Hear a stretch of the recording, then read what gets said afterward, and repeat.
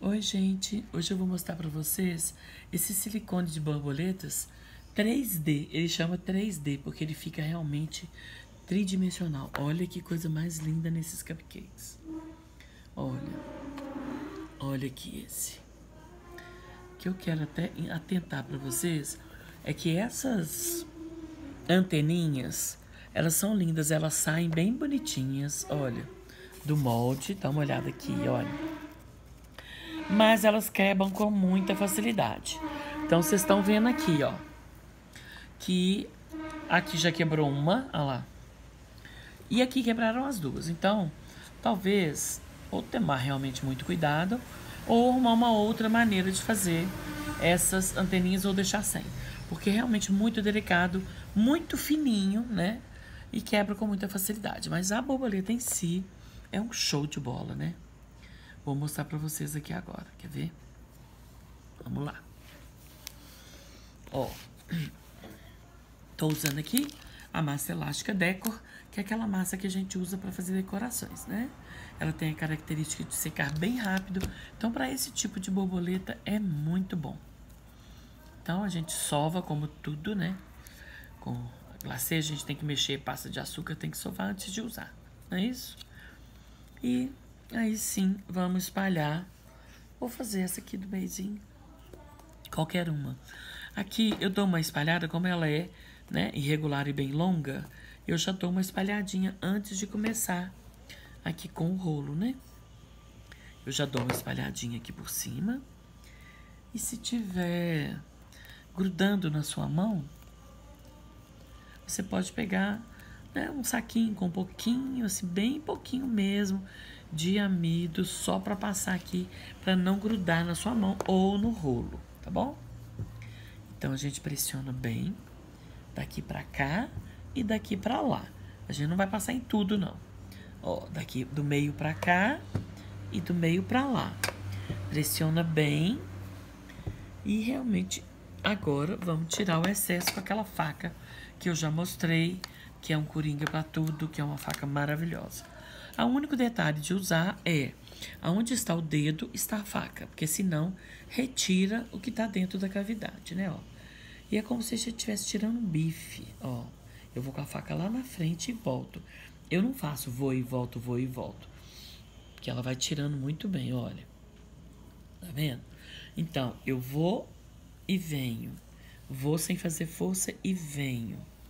É como se a gente, olha, fizesse esse movimento para que, como a cavidade é bem fininha, né, é, para ficar mais delicada a borboleta, é bem fininha, a gente não vai e volta com a faca, não. A gente só vem com ela.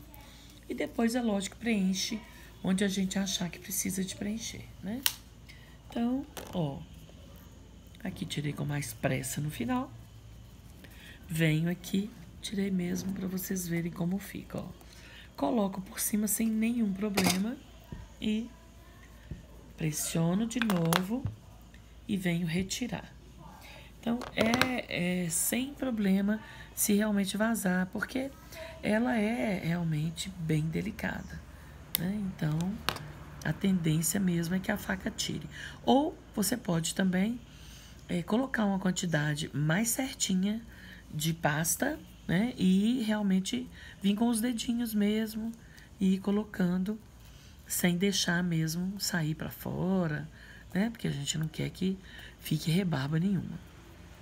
Então preste bastante atenção aonde é o limite aqui do molde, né? Ó. Aqui subo até aonde ele é, ó, ó, tá vendo? Respeitando, sempre respeitando né, o limite do molde. Ó, pronto. Aqui a mesma coisa, né, para que o molde realmente fique lindo. É um molde muito bonito e eu gosto de secar depois que é, pintar, depois que seca um pouquinho. Eu não gosto de fazer e secar em seguida não, porque ela fica mole, né? E como eu quero que ela seque, né, na posição, aí eu eu espero ela secar um pouquinho para que aí sim eu pinte já na posição que eu quero. Porque, como eu disse para vocês, é uma, é uma pasta que tem essa característica de secar rápido, né? Eu não vou nem... Ah, vou fazer? Eu não vou fazer. Vou fazer. As anteninhas aqui, para vocês verem. Porque, realmente, elas são lindas. Mas elas são muito delicadas. Então, é, é muito complicado. Ela vai mais estragar do que realmente ficar. Tá vendo? Como elas são pequenininhas, olha. Elas são realmente bem, bem, bem delicadas.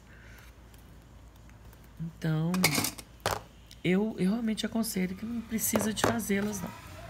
Porque elas, elas vão te dar um trabalho e, e vão quebrar. É, né, elas são muito delicadas. Aqui você pode usar para fazer aqueles cabinhos de cereja, né? Tem muita coisa, muito artifício, você pode deixar secar, né? Fazer umas tirinhas ou uns só cocozinhos dessa pasta para fincar. Aí você faz um pouquinho mais grosso, porque aqui é muito delicado, mas é muito, muito, muito fácil de estragar. Então fiz bem devagarzinho mostrando para vocês, né? Que você consegue fazer bem mais rápido. É realmente para mostrar para vocês como fica. Aí aqui a gente tira. Olha que perfeição. Olha que borboleta que é essa. Né? Uma borboleta que você coloca uma borboleta já enfeita. O que, que eu fiz aqui? Né? É, coloquei um marcador na base, que é um marcador de flor. Ele é muito lindo também.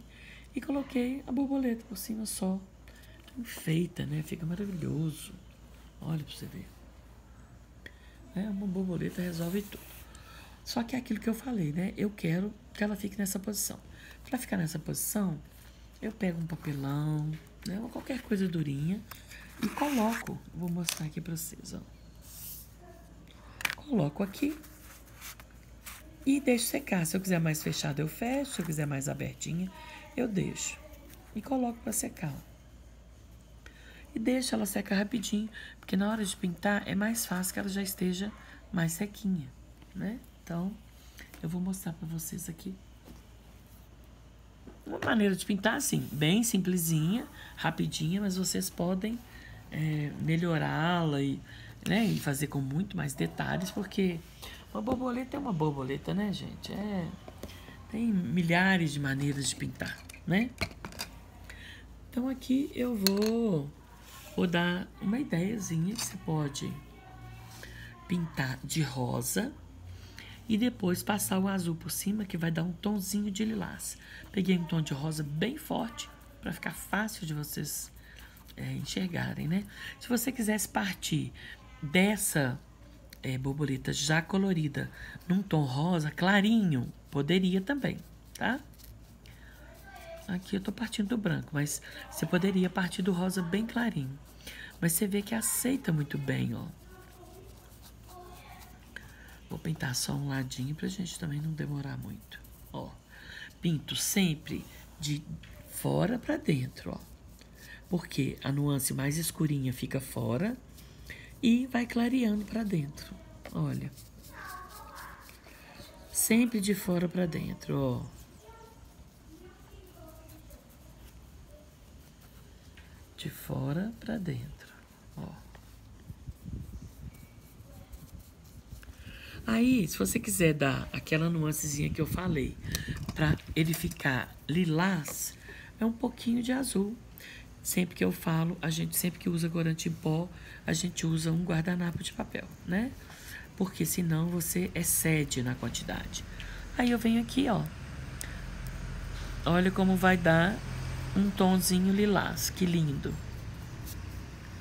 Né? É pinturinha bem básica. Você pode pintar os detalhezinhos com preto, como são muitas borboletas, né? Isso aqui é só para dar uma ideiazinha mesmo de como você pode pintar. E aqui eu mostro para vocês duas já pintadas e aqui como a gente pode usar, né? São corantes em pó que eu também tenho à venda na loja, né?